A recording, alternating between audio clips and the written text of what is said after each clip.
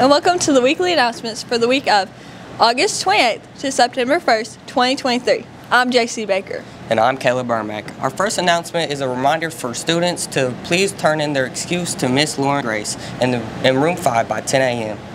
Anyone interested in, in auditioning for ELF on Friday, September 1st, should check their grade level Google Classroom. And if you have any questions, ask Miss Warren.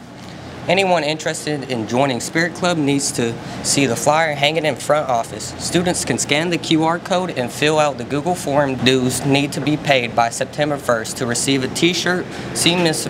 Brooke Ratliff for, with any questions. FCCLA and FFA are teaming up to donate as many pop tabs to the Ronald McDonald House charities as possible before October.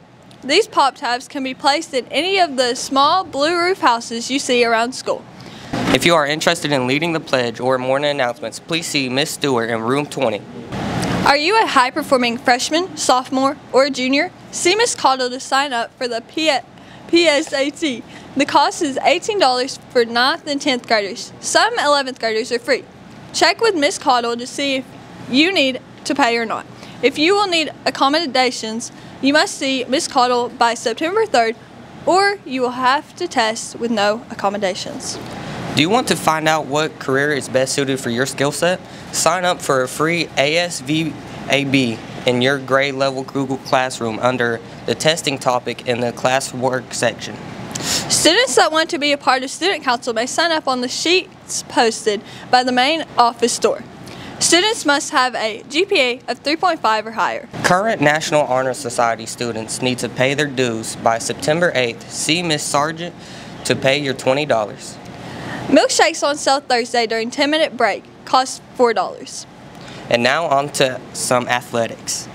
The boys soccer team play at Powell County today at 6.30, Electric County on Tuesday at 8, and play host to Lawrence County here at 8.30 on Thursday. The girls soccer team play at Letcher County on Tuesday at 6.30 and play host to Martin County here at 6.30 on Tuesday. The volleyball team play Martin County here at home on Tuesday at 6 p.m. Lastly, the football team plays on the road at Belfry this Friday in the ARH Bowl. Kickoff is at 7.30. The Spirit Club standings have gone through some changes. The juniors have taken the lead. The seniors and sophomores are tied for points and the freshmen are in last for this moment. Points are up for grabs during Spirit Days, Black and Gold Fridays, and at pep rallies. And finally, for our leadership quote of the week. Leadership is an action, not a position. Donald H. McGannon.